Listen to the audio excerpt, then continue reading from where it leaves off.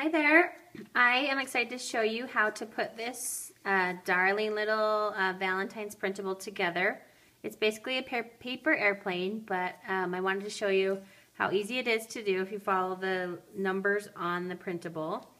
This is what the printable looks like uh, before you fold it. Uh, you'll need to run it through your printer twice for one for both sides. Um, when you print it out, there will be four you'll cut apart. So I've already folded three of the four. I'm going to show you how to fold this last one. So as you can see, this is what it looks like when it's all finished. Um, it says, you make my heart soar, and it has this cute airmail border on both sides, and you can see it on the back side as well. There's a spot right here for your child to write their name, and you can also write a classmate's name on this side if you'd like. And then um, you could stick a piece of gum in here if you wanted to add some sort of treat, or you could get creative and have something dangling behind it. Um, either way, it, kids love paper airplanes, so this is a fun, different way. It doesn't have to always have candy, but if you'd like, you could add something to it. Okay, so let's get to it. This is what you have to do um, to put it together. You'll start with number one. Each uh, fold line is numbered and you always fold in on the number. So number one is just the center fold. You basically just fold right down the center. And I didn't line that up great. It's okay. Okay, number two. Actually, before I start, there's it says here you can cut out.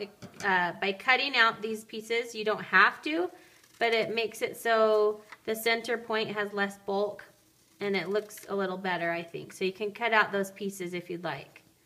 Okay, and so number two, the second crease you make is just right here. And it kind of lines up to the third line. So you fold in on number two on both sides.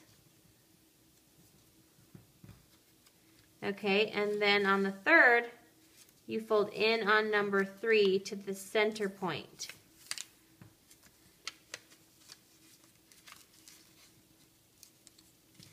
Let's see here, just fold right to the center. And then for the final folds, they're on the back side. You flip it over, you'll see number four, and you just basically take the airmail stripe to the center crease line and fold on both sides.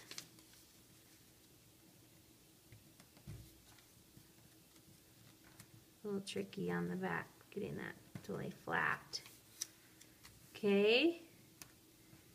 Once you have that together, then you'll turn it around, you'll fold it back to the center and pull out the wings of the paper airplane. And there you have it. A fun uh, paper airplane for your kids to take for their Valentine's this year. Uh, thanks for watching. Have a great day.